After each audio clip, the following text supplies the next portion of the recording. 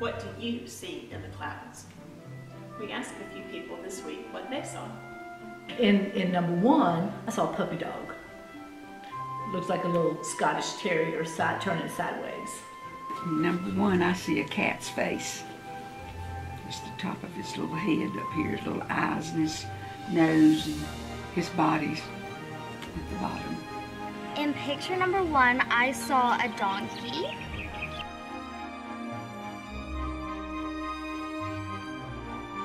Picture number one, I saw di dinosaurs fighting. It looks to me like a duck, his little bill off to the side. Bearded man. I can see his eyebrows, his eye, mustache, his goatee. Oh, I saw a duck's head. Oh, I saw half of a face.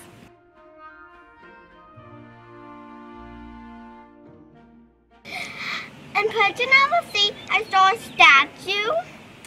The abominable snowman or Olaf. I see a dog standing on his back legs. A horse. A mountain. It looks like a flamingo. It's pink and it looks like it's flying away. Covey of birds, maybe big birds. Saw a tornado. Angels. I also saw angels. Looks like a camel sitting down, just looking around. In picture number five, a well. I saw buildings. That's a monkey's face. Looks like an ocean wave. Looks like a mermaid. I see a stack of pancakes at the bottom and a ghost on top. Saw a mermaid. I saw a mermaid. I saw a farm. Looks like an angel riding on a horse. An elephant on the right over here. I saw a dog cell. I saw two elephants in a fight. I saw a hippo.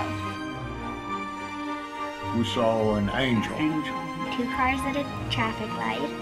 The eye of a storm. My favorite of all of these. It looks like Jesus ascending.